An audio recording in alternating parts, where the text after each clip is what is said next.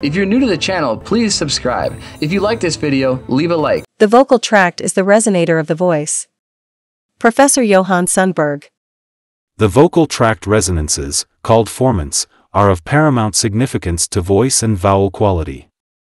There is no doubt, however, that the voice sets up forceful vibrations in the structures limiting the voice organ, such as the chest wall, the throat, the face, and the skull.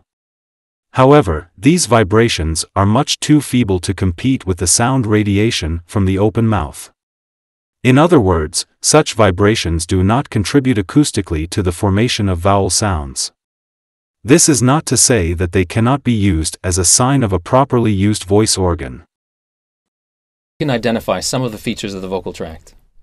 Lips, tongue, this difficult to control piece of anatomy is called the velum or the soft palate, but you can think of it as the nose gate. It opens and closes, controlling the flow of air and sound up into the nasal cavity. In most people, the velum is opening and closing constantly when we speak and sing, and we're barely even aware of it. Down here, we have the larynx, which houses the vocal fold. Now, the area at the back here that joins the nasal and the oral cavity together this area is called the pharynx. So the nasopharynx is here, behind the nose. The oropharynx is here, behind the mouth. And the laryngopharynx is down here, because this structure here is the larynx. Manuel Garcia Jr. The real mouth of the singer ought to be considered the pharynx because it is in the pharynx that is found the causation of timbers. The facial mouth is but a door through which the voice passes. Still, if this door were not sufficiently open, sounds could not issue freely.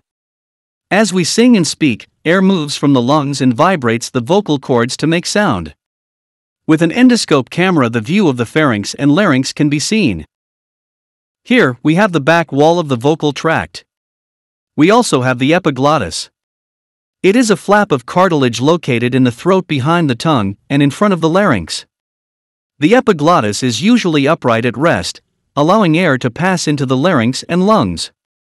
It comes over the larynx during the action of swallowing to prevent food and liquid from entering the trachea. The larynx is mounted on top of the trachea or windpipe.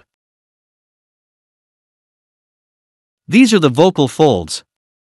They can close off the airway or come together to create vibrations. The space between the vocal folds are called the glottis. The arytenoid cartilages help move the vocal folds. Being attached to the arytenoids, they move along with them, allowing them to tense, relax, or approximate. This is a sample of the vocal process in action. Now give me a singing. Hmm.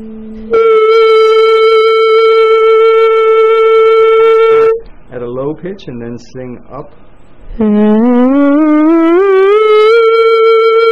Okay, can you go any further? Okay, good. And now high to low.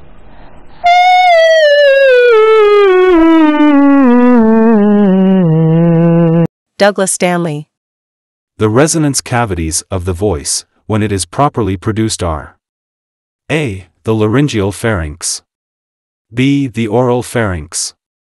C. The nasal pharynx. D. The trachea and bronchi. Komm lieber Mai und mache die Bäume wieder grün und lass mir an dem die kleinen blühen. Wie möchte ich doch so ein wiedersehen.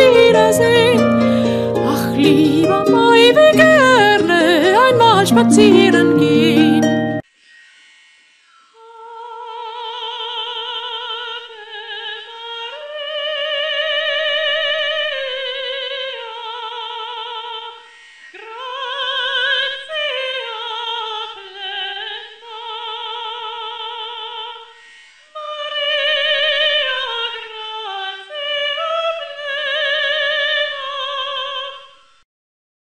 William Vennard.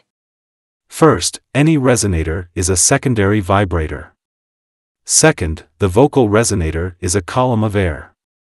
It is not a sounding board of some sort, as comparisons with stringed instruments would make it. Third, the shape of the resonator is not only complex, but highly variable.